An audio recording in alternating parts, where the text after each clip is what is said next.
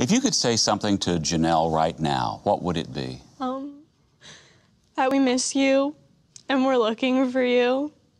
And Steffi P from biology is pregnant. Oh my God, yeah. I mean, she says that she's not, but she's like totally wearing sweaters in May. Uh, tell So- us how you've been helping to spread the word about Janelle's disappearance. I know you've started a, a Facebook page. Well, yeah, I mean, it has all of this information that we put up about like where Janelle was last seen and like what she was wearing.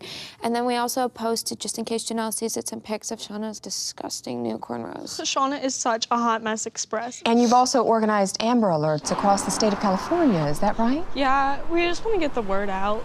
You just think that this is something that would happen to like Aaron, not Janelle. Oh God, I could totally see Aaron getting kidnapped. And you know what? I bet that she would like it too. She's such a slut, Jim and Tracy. You don't even know. We call her the Ballsosaurus because she loves to put, balls, in her, mouth. I hate her. Right, but you have been working extensively with the police on this case, haven't you? Yeah. yeah, we told them you did it.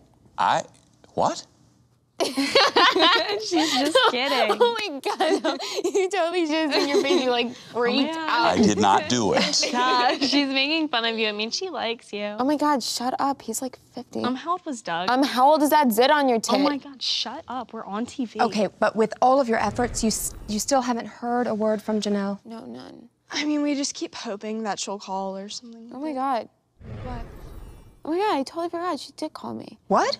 Yeah, but I was like in this movie, so I was like, oh, I'll call her back later. But then everyone was like, come to PF Chang's. And I got totally wasted on margaritas because Samantha's friends with one of the Yeah. bussers. And Well, so they did don't she call her- leave a message? I mean, I well, kind of. She said that this dude was like driving her down to Salinas. So or she's still alive? Yeah, but I mean, I couldn't really understand her because Cambria was talking super loud about how her parents are buying her this new Explorer, even though everyone knows that her parents are like super poor. Yeah, her house is like a storage unit. Yeah, so, she's I mean, so it's- full of shit. Wait, have you alerted police? Um, when would I have done that? I had to get up at like ass crack early this morning to do the show. Well, I'm sure with all of your search efforts, Janelle will be will be returned safely and be home soon. yeah. Uh, just know that uh, that the two of you and Janelle are in our thoughts. Gross.